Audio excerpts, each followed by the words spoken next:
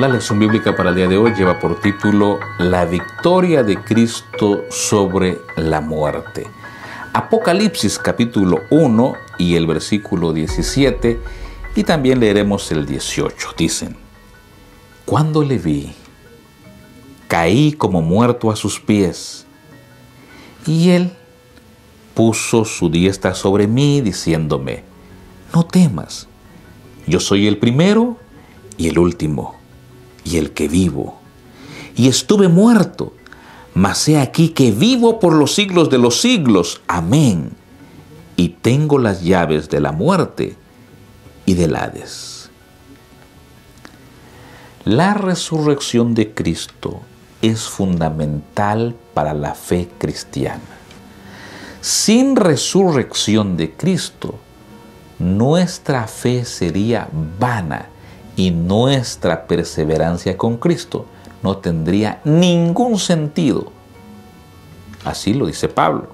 1 Corintios 15, 16 al 18. Dice Pablo. Porque si los muertos no resucitan, tampoco Cristo resucitó. Y si Cristo no resucitó, dice Pablo, vuestra fe es vana. Aún estáis en vuestros pecados entonces también los que durmieron en Cristo perecieron. A pesar de la certeza de la resurrección de Cristo Jesús, a pesar de la confirmación de muchos testigos oculares, como vimos en varios textos bíblicos, a pesar de existir una lista de personajes reales que confirmaron la resurrección de Cristo Jesús, a pesar de eso, saben que todavía hay argumentos para decir que quién sabe si ocurrió la resurrección. ¿Por qué? Porque el diablo quiere minimizar esa gran victoria y si es posible, anularla.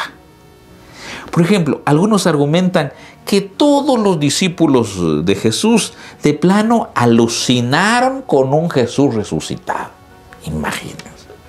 Otros que Jesús en realidad no había muerto, sino que solo se desmayó e hizo como que murió, pero que no estaba muerto. Imagínense, eso no puede ser así, porque además los mismos soldados romanos tuvieron que ir a confirmar si había muerto. De lo contrario, tenían que fracturarle los pies. Pero bueno, hay tantos argumentos para de pronto debilitar ese acto de victoria, ese acto que asegura la salvación de la raza humana, ese acto que hace que tengamos hoy a un Jesús vivo, a un Jesús real, a un Jesús que intercede por nosotros. Satanás ya está derrotado. Por eso Él quiere ver cómo levanta una cortina de humo para decir que Jesús no está vivo. Sin embargo, tú y yo podemos decir, Él está vivo. ¿Qué lecciones podemos sacar para nuestra vida? Bueno, una, y esta aparece en el deseo a todas las gentes, la página 731.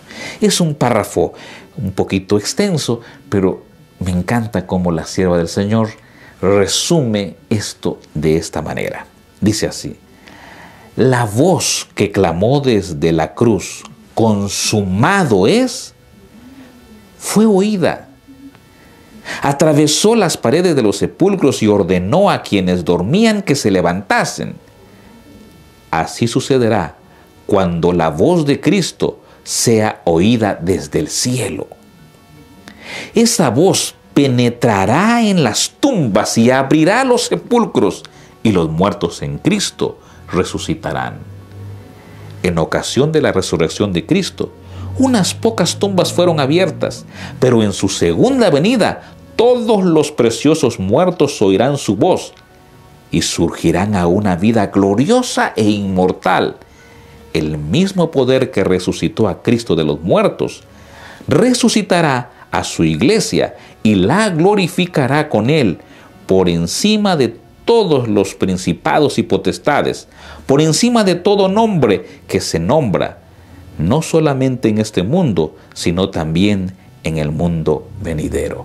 En otras palabras, esperamos el evento más grande de la historia de la redención, la segunda venida de Cristo Jesús y la resurrección de los muertos. Que tú y yo estemos allí. Dios te bendiga.